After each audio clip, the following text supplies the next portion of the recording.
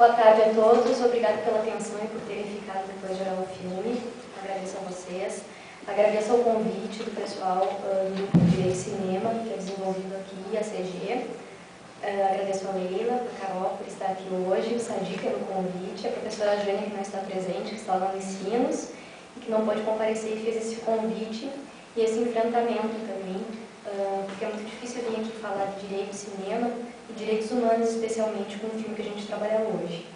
Uh, agradeço também ao Pablo pela presença também aqui para mediar comigo essa mesa, me sinto muito honrada.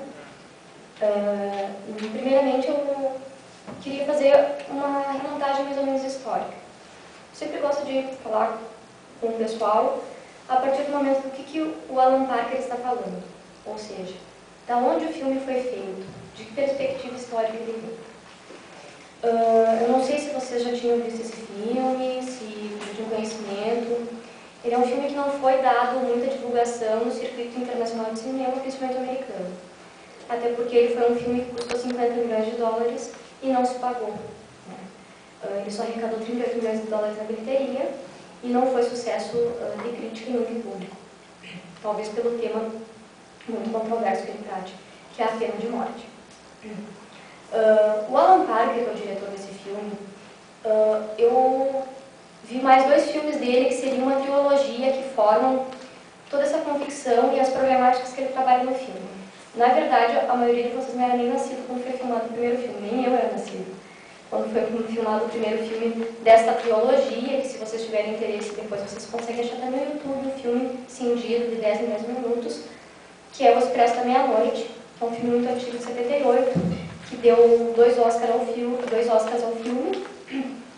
E ele trata sobre uma, é, uma história real de um menino chamado Billy Reis, uh, que vem da Turquia, traficando rachixe, acham que não vão pegar ele, e os turcos pegam ele no embarque e ele fica seis anos preso na Turquia, uh, sofre todos os tipos de maltratos que podem ser colocados tanto na prisão brasileira como turca. Uh, se vocês olharam o Carandiru, vocês já têm mais ou menos a perspectiva desse filme. Só que como é um filme muito antigo, ele é bem interessante de se ver.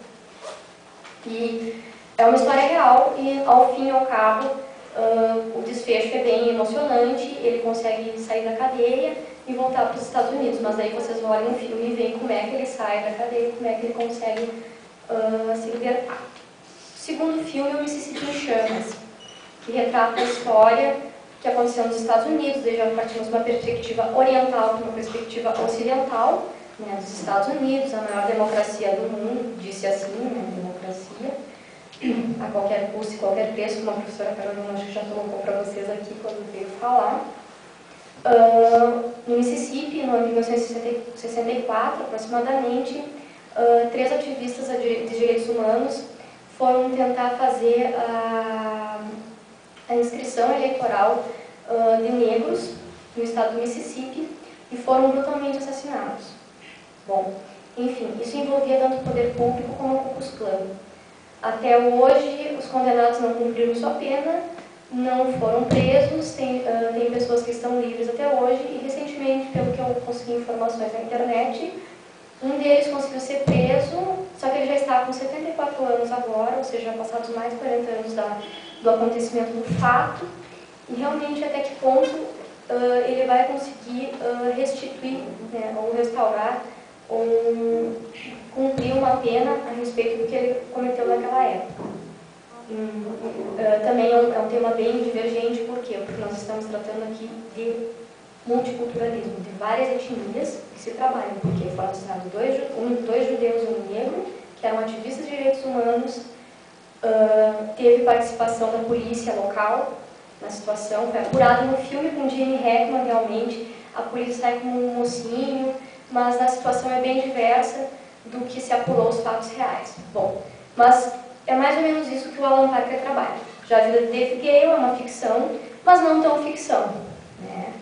Uh, se nós vamos uh, concatenar as ideias com duas semanas atrás, uh, quem se informa na internet sobre o que acontece com direitos humanos e tem uma ONG nos Estados Unidos chamada, que, é dentro da Universidade de Nova York, que banca exames de DNA para acusados e... acusados não, mas sim condenados a pena de morte. Paul House é um senhor que já foi condenado a 22 anos e 22 anos de espera no corredor da morte, conseguiu provar, através do teste de DNA, que ele não participou do crime e não há nenhum indício, ou evidence, como eles chamam, de que ele participou do crime. Por quê?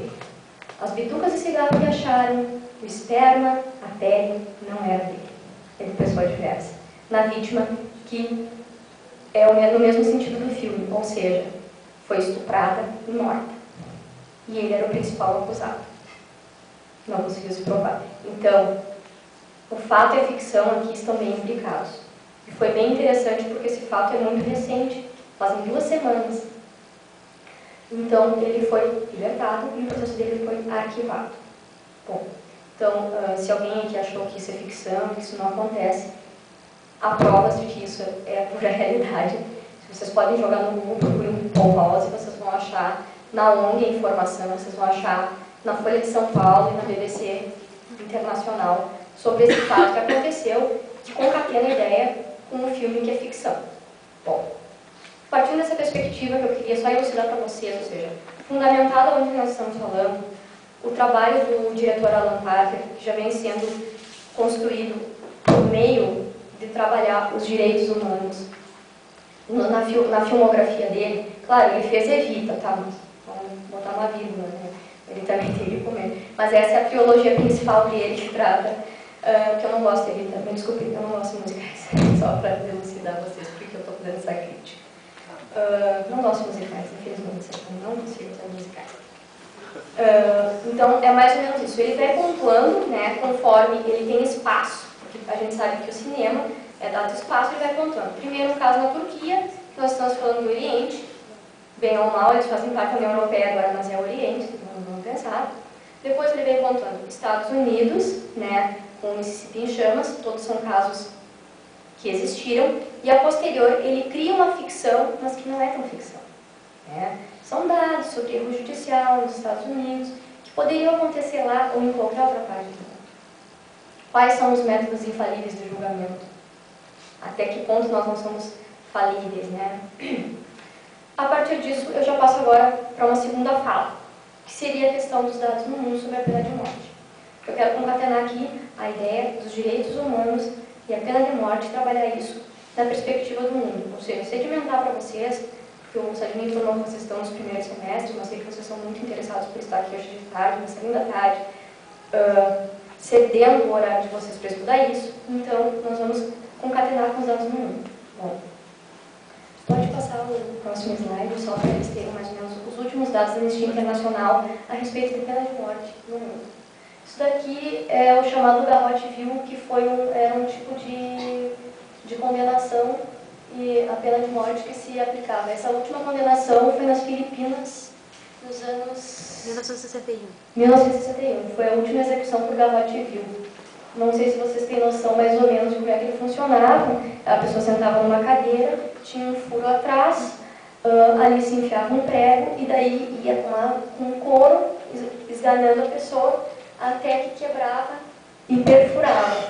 Certas vezes as pessoas acabavam sendo decapitadas pela força que era imprimida pelo executor. Né? Então, os outros meios também de, de, de, de execução de pena de morte, desumanas ou não humanas, porque da perspectiva que eu falo para mim, como morte é sempre desumano, então já falo para vocês da minha posição nesse sentido. Uh, empalamento e outros, uh, lapidação, que ainda é praticado no Irã, uh, principalmente contra mulheres adúlteras, né, que são enterradas até a cabeça e os homens só até a metade do corpo para serem lapidados e não fugirem da lapidação.